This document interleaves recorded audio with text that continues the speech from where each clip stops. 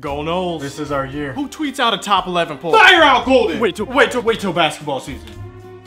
I'm tired of hearing about Clemson. I don't know why we named Mike Hopkins the successor. Can we stop changing quarterbacks every other play? Mike Hopkins is a great hire. ESPN owns the SEC network. You're gonna tell me that's not biased? Remember when we beat FSU? Remember when we beat FSU? No, no, not the first time. The second, yes! You didn't get into college, go to Virginia Tech. Danny Coale caught the ball against Michigan. I hope we beat them one time before I die. Is it too late to get Dave Wannstedt back? Bet Charlie Strong wish he didn't leave. SEC is overrated. Look at our record against SEC opponents. Nothing like the Cameron crazy. No, they're actually crazy. Like, my ex went there. It's the worst decision of my life. At least Georgia lost. Legend of the Speedo guy. I love Frank Beamer. When was the last time UNC won a national championship? But we gotta win a championship. Because we won last year. If Troy Flutie could play more like Doug Flutie, that, that would be great. Rick Pitino is the best coach of all time. Tim Duncan may be the best power forward of all time. When the triple option is working, it's a thing of beauty. I never want to see Dabo Swinney whip or nae nae again. When it doesn't work, it looks like a Georgia sorority girl, if you know what I mean. Obviously the best point guard of all time.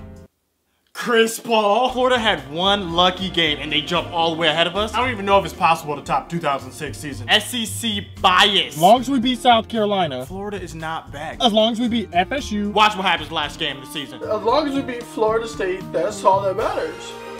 Right? Why would we join the ACC? I like being independent. I'm a grown man.